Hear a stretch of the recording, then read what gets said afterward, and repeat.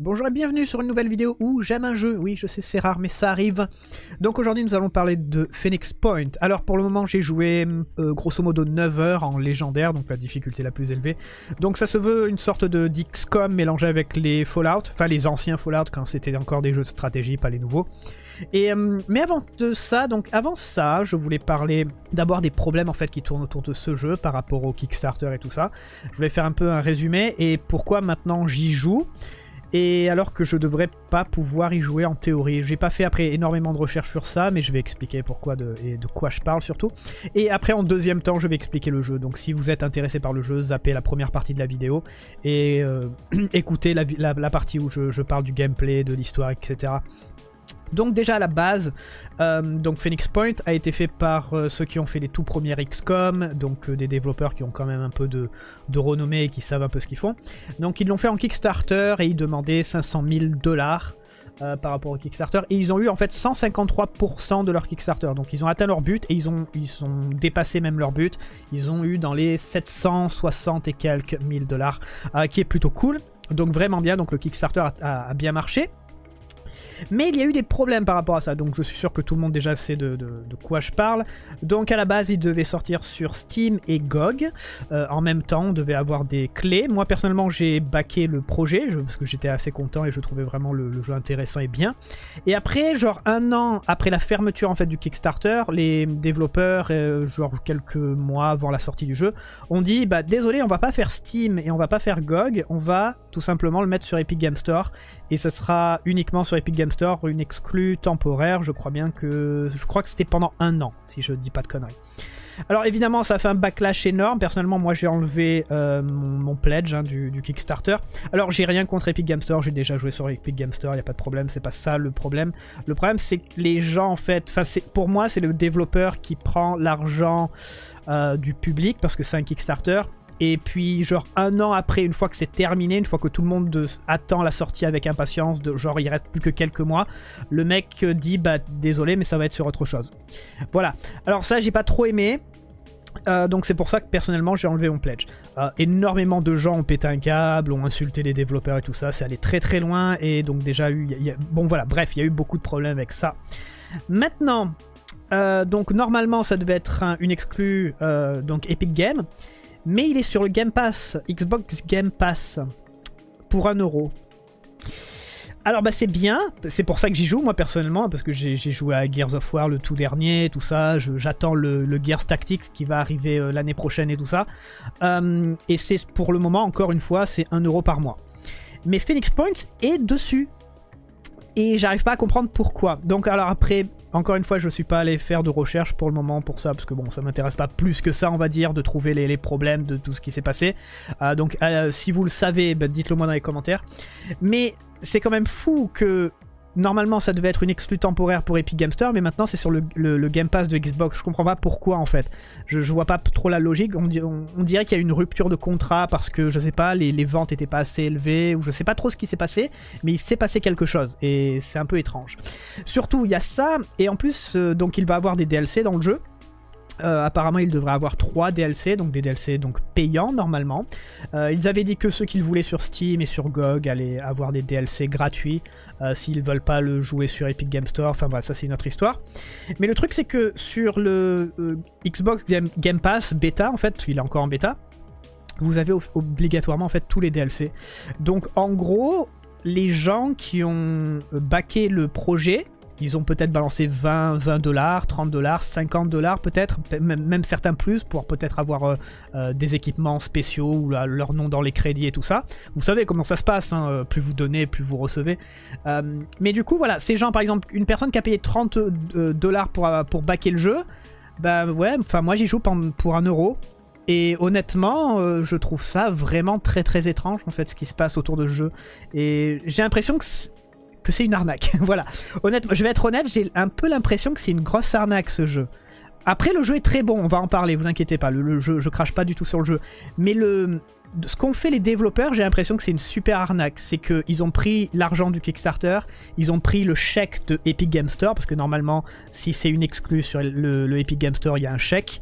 Alors après, je sais pas s'il y a eu une rupture de contrat ou pas, mais maintenant il est sur le Xbox Game Pass, donc vous, pouvez l'avoir sur un, pour un euro, comme le dernier Gears of War si vous voulez. Euh, euh, et le dernier Halo, enfin le, Halo remasterisé qui est sorti, Halo Reach. Euh, enfin voilà, c'est super étrange et j'ai vraiment l'impression que c'est une arnaque ce jeu. Mais enfin bref, voilà, on va, on va arrêter de parler de ça. Je voulais juste en fait partager ces petites bizarreries autour de jeu. Maintenant on va parler du jeu. Alors qu'est-ce que j'en pense? Alors c'est un bon jeu c'est un bon jeu. Alors un peu comme genre Monster Hunter World, euh, on compare Dauntless à Monster Hunter. En gros, il y en a certains qui disent que c'est le Monster Hunter du pauvre Dauntless vu que c'est gratuit, etc. Donc bien sûr, il n'y a pas euh, le, triple A derrière, en gros.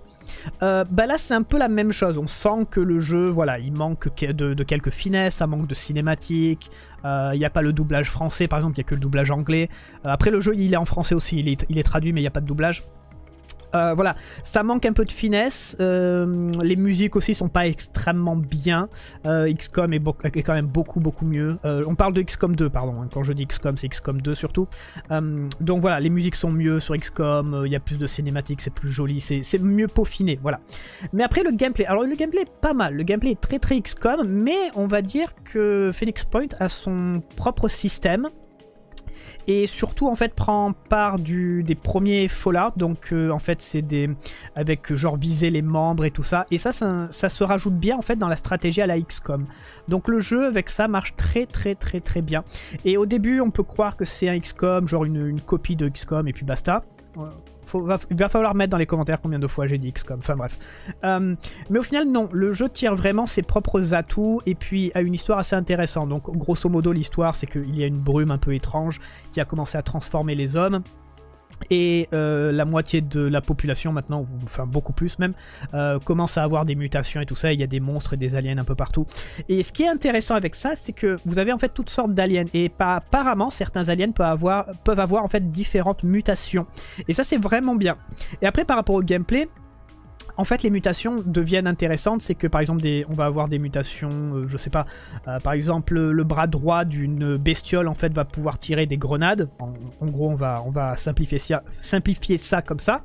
Et du coup, vous allez pouvoir en fait viser le bras droit de, ce monstre-là et le détruire. Et si vous le détruisez, du coup, ce monstre ne, va pas pouvoir utiliser son lance-grenade. Si par exemple, c'était une sorte de monstre psychique qui, euh, qui peut contrôler les gens avec son esprit, bah, si vous lui détruisez la tête, bon, le truc ne va pas mourir, hein, parce qu'il a encore des PV par exemple, mais euh, le fait de détruire sa tête, elle est désactivée, comme ils disent dans le jeu, et du coup, il va pas pouvoir utiliser ses, euh, dons de psychique par exemple.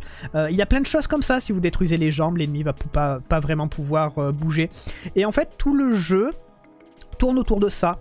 Et donc à chaque fois que vous détruisez des membres, ça rajoute du saignement, et plus il y a de saignement, plus ça fait des dégâts par tour. Le saignement, vous ne pouvez pas vraiment l'arrêter, il faut vraiment vous se soigner. Euh, il y a même des monstres par exemple qui peuvent régénérer, et du coup vous pouvez en fait euh, détruire plusieurs parties pour avoir plus de saignement que ce qui peut régénérer. Donc voilà, c'est une stratégie comme ça qui se, qui se rajoute et tout ça. Et franchement, ça marche très très bien. Ça marche très très bien. Euh, après, par exemple, pour la customisation des personnages, alors la customisation est pas mal.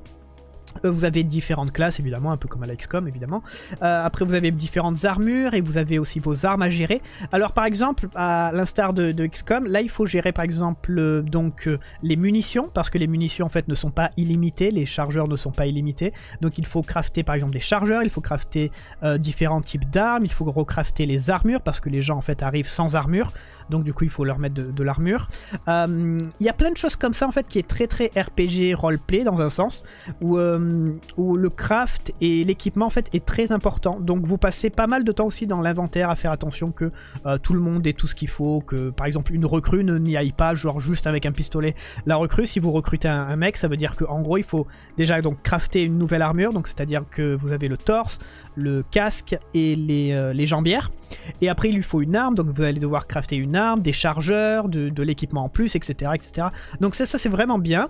Et après, il y a une une sorte de, un peu comme Alex comme 2, encore une fois avec le DLC euh, War of the Chosen, il y a différentes factions. Donc encore une fois, on voit bien que les grands, on va dire que les, euh, grandes lignes de, XCOM 2 War of the Chosen ont été récupérées dans ce jeu. On le voit très très bien. Euh, mais c'est bien amené et c'est bien changé à la sauce de Phoenix Point pour que ça soit assez unique pour le jeu lui-même. Voilà, c'est pas une simple copie. Voilà, c'est ça que je veux dire. C'est ça qui est vraiment important à garder à l'esprit. C'est pas une simple copie. Et donc vous avez plusieurs en fait factions. Et ce qui est intéressant, c'est que les factions en fait ne s'aiment pas vraiment. Et j'ai été super étonné de ça parce que sur le coup je me suis dit bon il faut faire euh, ami-ami avec tout le monde. Mais en fait non, vous pouvez rester de votre côté ou alors vous pouvez commencer à attaquer certaines factions ou alors attaquer toutes les factions si vous voulez. Et du coup en fait par exemple une faction qui n'aime pas une autre, bah, si vous attaquez celle qu'ils aiment pas, bah, eux ils vont vous aimer, ils vont commencer à partager des recherches etc. Ils vont vous aider. Et si vous faites l'inverse, vice versa, bah, du coup vous aurez une autre faction sur le dos. Et il y a plein de choses comme ça et ça c'est plutôt plutôt bien. Après je sais qu'on peut utiliser des véhicules pendant les combats, alors personnellement j'ai pas encore pu le faire. J'avoue que je fais un peu la vidéo en fait euh, un peu en avant, je voulais euh, beaucoup plus jouer au jeu avant de faire la vidéo, euh, mais j'étais en fait agréablement surpris donc je voulais vraiment partager ça. après je joue aussi en légendaire, donc la difficulté la, plus élevée, il n'y a pas le mode Iron Man, l'homme de fer, il n'y a pas ça pour le moment, donc vous pouvez sauvegarder, vous pouvez complètement charger, sauvegarder quand vous voulez. moi personnellement je je recharge une partie si vraiment ça se passe mal et je sauvegarde seulement entre les missions en fait. Je vais pas euh, charger dans la mission. Si vraiment la mission se, passe très mal, ben je la recommence de zéro. Et ce qui est bien en fait à savoir, c'est que euh, si vous sauvegardez en fait avant de rentrer dans la mission et que vous rentrez dans la mission, c'est à ce moment-là où où l'aléatoire en fait va être euh, euh, créé. Donc la map va être générée aléatoirement, les monstres vont bon sûrement être plus ou moins les mêmes, mais ils vont être mis aléatoirement. Donc à chaque fois vous recommencez pas la même chose. donc ça c'est bien. Donc c'est pas vraiment triché de, de, recharger la partie pour faire ça. mais en légendaire, j'avoue que le jeu est pas très très difficile pour le moment. Il y a euh, une mission où je me suis forcé à recharger parce qu'on avait perdu un, soldat au début vraiment. Et vu que j'apprenais le jeu et euh, c'est vraiment la seule façon, le seul moment où j'ai rechargé. Après, on a perdu un autre soldat plus tard dans d'autres missions, mais celui-là, c'est pas grave, j'ai continué. Euh, on a récupéré d'autres soldats et tout ça. Donc le jeu en, lui-même n'est pas extrêmement, extrêmement difficile de ce que je vois. Euh, après, il y a des missions, bien sûr, qui sont un peu plus élevées les unes que les autres, évidemment. Hein. et ce qui est important, en fait, c'est que vous avez beaucoup plus de choix par rapport à XCOM 2. par exemple, la plupart du temps, vous avez quelques missions, j'en avais 3 ou 4 de différentes mais c'est tout.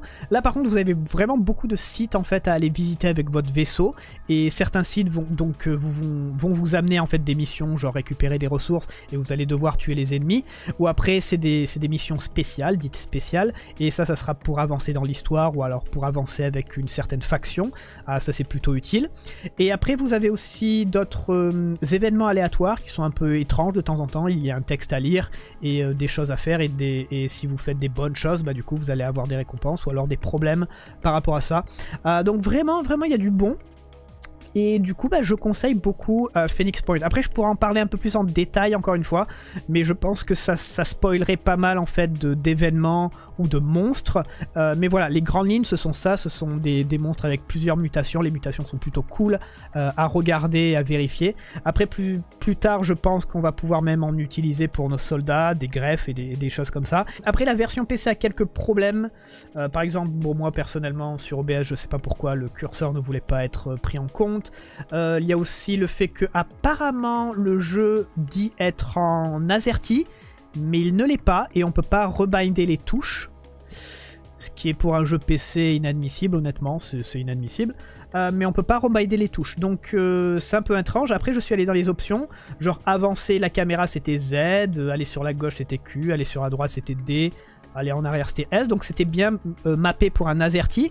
Mais le jeu était en QWERTY. Si je voulais faire Z par exemple, bah, ça avançait pas du tout la caméra, ça faisait autre chose. Donc le jeu était bien en QWERTY, donc j'ai dû changer, vous savez, vous faites Alt et euh, majuscule, ça va vous mettre votre clavier en, QWERTY, donc faites ça. Mais voilà, ça c'est par exemple des petites choses étranges sur la version PC. Euh, qui devrait ne pas exister, hein, qui devrait vraiment avoir déjà des patchs et des corrections, et ça devrait pas sortir comme ça. Euh, et après vous avez des choses comme euh, le fait que le, le plein écran et l'écran fenêtré sans bordure, apparemment c'est exactement la même chose. Je sais pas, c'est un peu étrange, mais apparemment il n'y a pas de différence pour le jeu, donc je sais pas si le, plein écran ne marche pas vraiment bien euh, ou des choses comme ça. Euh, bon après j'ai pas eu de crash, par contre sur le chat on m'a dit qu'il y a eu pas mal de bugs, il y a pas mal de bugs sur le jeu quand même, genre euh, l'IA qui va bugger, qui ne va pas bouger pendant leur tour, et du coup si c'est leur tour vous pouvez pas faire pause, enfin vous pouvez pas en fait relancer le, euh, genre charger la partie ou relancer la partie, il faut complètement bah, crash le jeu et relancer le jeu. Euh, bon, on avait la même chose sur XCOM 2, je dis pas que c'est une raison pour avoir la même chose sur Phoenix Point, mais voilà, XCOM 2 avait beaucoup de problèmes de, de, cette sorte-là, l'IA qui pétait un câble et des fois vous pouvez même plus jouer, ou, euh, ou le jeu qui commençait à ralentir sans, sans vraiment trop d'excuses. Voilà. Donc il y a des petits problèmes comme ça, je, fais confiance au chat et je suis sûr que c'est complètement vrai par rapport à Phoenix Point. Vu qu'il est très très similaire encore une fois à XCOM, je pense qu'il a au moins les mêmes problèmes, surtout à la sortie d'XCOM 2, euh, qui était vraiment euh, pas extrêmement bonne. Enfin bref, donc voilà, en résumé, c'est un bon jeu. Encore une fois, profitez-en. Xbox Game Pass Beta. Euh, allez-y, c'est encore 1€ par mois pour le moment. Donc euh, voilà, pour 1€, vous allez pouvoir jouer au jeu. Et plus tard, quand il y aura les DLC, euh, normalement, vous devriez aussi les avoir sans avoir à, les payer. sinon, le jeu, je crois, est à 39,99. Donc il est à 40€. je crois bien sur le, le, Xbox Pass et sur Epic Game Store. Du coup, il doit être au même prix. donc voilà, ça sera tout pour ma petite vidéo, j'espère que ça vous aura aidé. Euh, donc voilà, si vous avez franchement aimé XCOM 2 et que vous aimez les stratégies, ça va vous plaire. Euh, il y a des, nouveautés par rapport... Euh, il y a des choses uniques, il y a beaucoup de choses uniques en fait pour ce jeu. Donc c'est vraiment très très intéressant, donc allez-y. moi personnellement, pour l'instant, je continue ma version légende, légendaire découverte en fait sur, sur Twitch. Donc euh, si vous êtes curieux, venez voir. Je vais pense faire une playlist en fait euh, sur la chaîne Twitch par rapport à ça, parce que c'est peut-être assez intéressant quand même de découvrir les jeux. Je, fais tout le temps des playlists si je découvre les jeux qui sont intéressants, bien sûr. Si c'est des jeux chiants et tout à regarder, non, je, le fais pas.